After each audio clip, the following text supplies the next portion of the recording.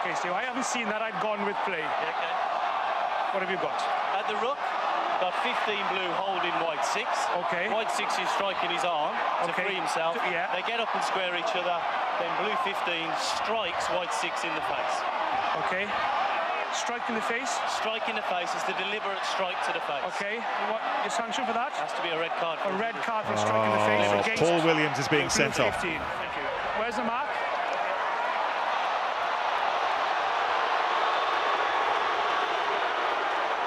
Oh dear.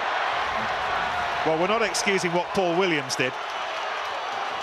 But on the other hand, it would seem that Heinrich Brüssow was hardly blameless.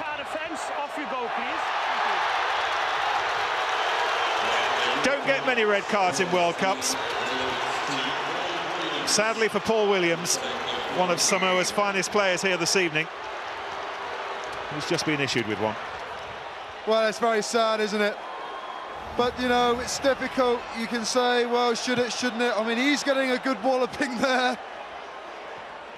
Then he gets up and does a silly thing. It's a push to the face, it's not a punch. But I think, in fairness to Nigel Owens, when his refereeing assistant says it's a strike to the face, he's not really left with any other option, Nick.